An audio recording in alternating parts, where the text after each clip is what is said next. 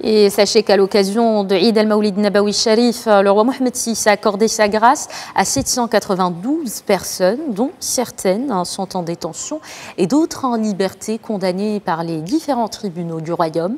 C'est ce qu'indique un communiqué du ministère de la Justice.